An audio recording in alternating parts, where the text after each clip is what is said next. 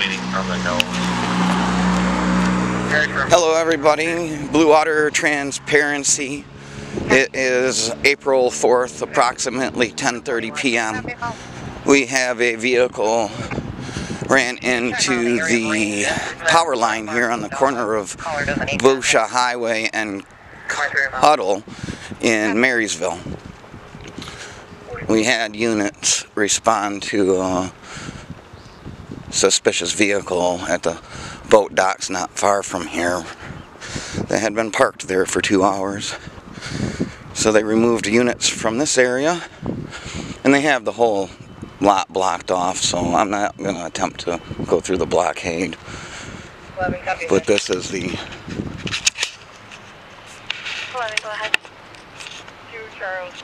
aftermath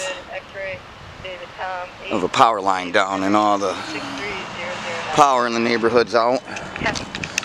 249, copy call.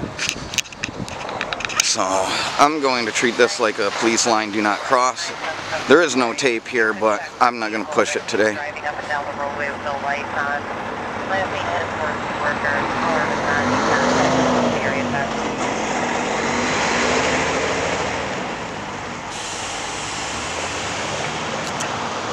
Um, as I was leaving the house, there was one subject exiting the vehicle. I haven't heard any other reports of injuries or other uh, passengers. So they're conducting their investigation and helping any injured. Again, the only news I have Two. over the on a 2013 Dodge Charger to a Michelle Donkus out of Trenton.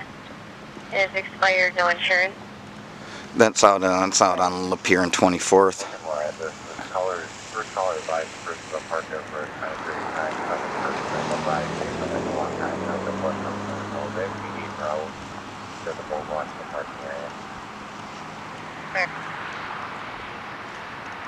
Yeah, they got the road blocked off. I'm not gonna push it.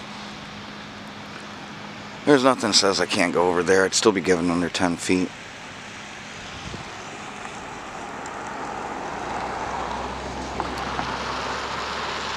Yeah, I think that they should put tape up if they don't want me through here. I better turn my light on, let them know I'm here. There we go. Uh, everybody can see me.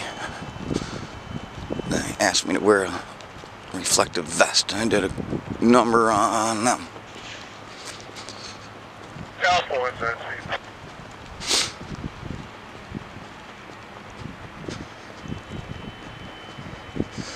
Uh, my phone's like on 20%. I fell asleep. No. Go ahead, 77. Uh, Without it on. Car that can shut down, uh, one roll for us real quick here. I'm tied up here and we're short.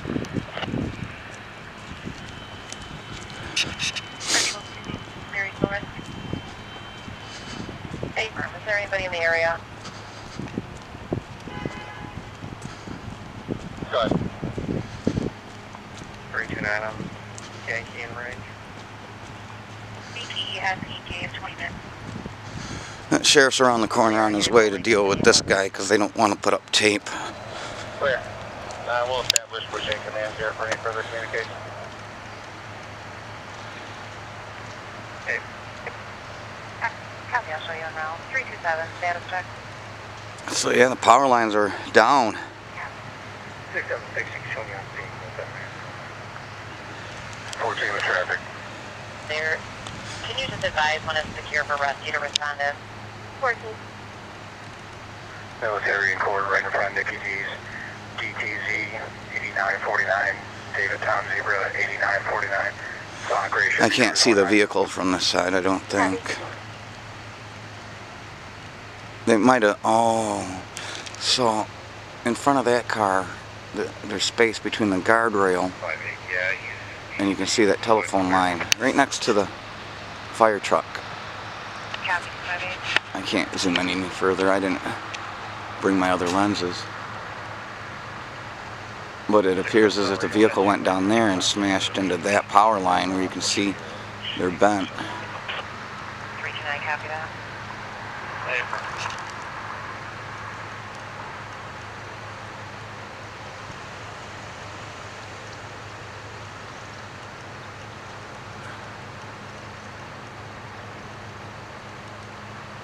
Well, they never made no song called after the fire department, right?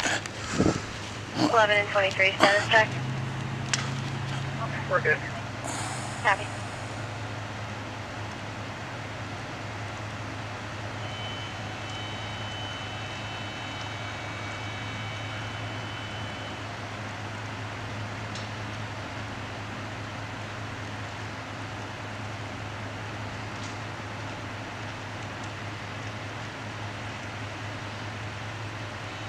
Oh, uh, anyway. Uh, if you enjoy this video, please hit that like button. If you enjoy what I do, please tell your friends and family by sharing this video with them. All around southeast Michigan, Blue Water Transparency. If you subscribe, it helps so that later on I can go live. I record with the external uh, SLR uh, as it is, but it would help if I could go and have a live feed on my phone while I'm recording the events and documenting on my uh, Canon Rebel. What else? Oh, if uh, We were canceled by Maryville. you want, go ahead and comment down below. that's what they want. Let me know how I'm doing. Let your officials know how your city's doing. Uh, if you disagree with me, uh, please say so. If you agree with me, please say so. I, I, I try not to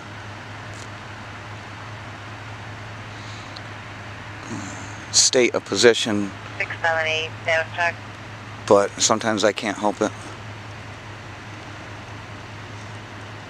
Uh, if you're a police officer and watching, understand that uh, if I see a vehicle running that's suspicious and requires further investigation, and I will approach. Sorry about that. 676 over the Volt Lounge, your status. 14 status check. Good status. Uh, copy.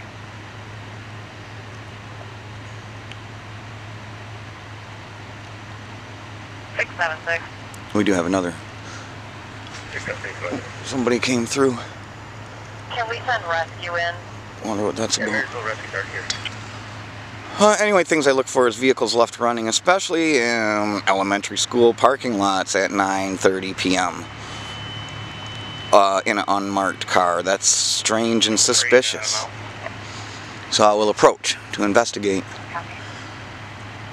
If I see um, your support of the thin blue line while on um, your public uh, duty in the course of your public uh, duties, I will I'll address it.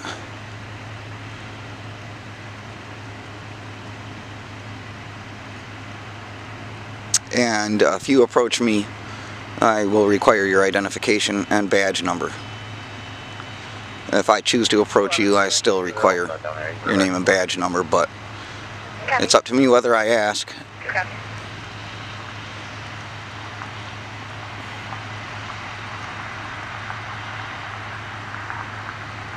I really, I, I, you know, I have to stay 10 feet away, but we can see what's going on from here. I don't want to get any closer. It's uncomfortable for me.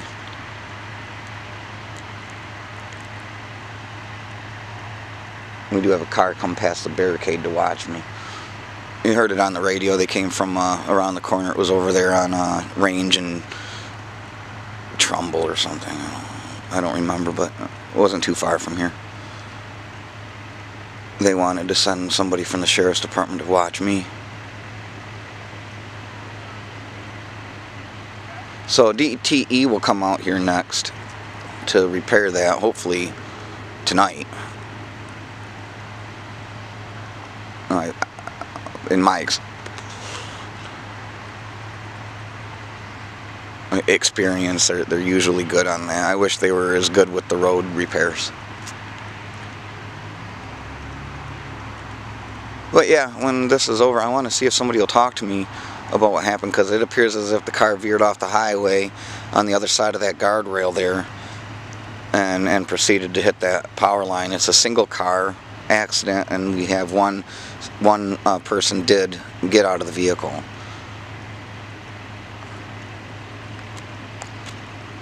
it's automatically suspected OUIL. Um, which I think is, I, that's ridiculous. The roads are wet. Um, it is cold. There's sleet conditions. So there's any number of reasons that could cause somebody to veer off the road in such an unfortunate state.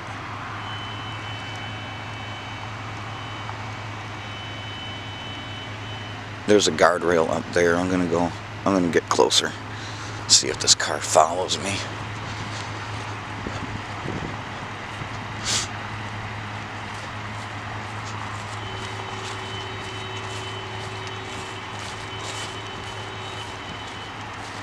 Okay, so that is the horn going on and off from the wrecked vehicle.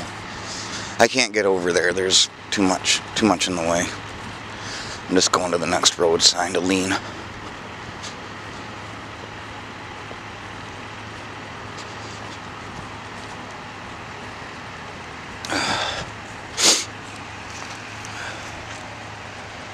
Okay, so here's where it appears the car veered off there between on the other side of that guardrail came through either on this side or that side and that that pole is down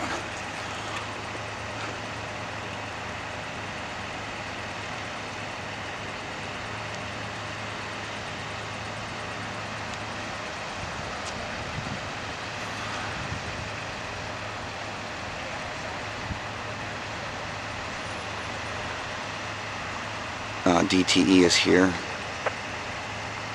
so Copy. 3450. oh yeah so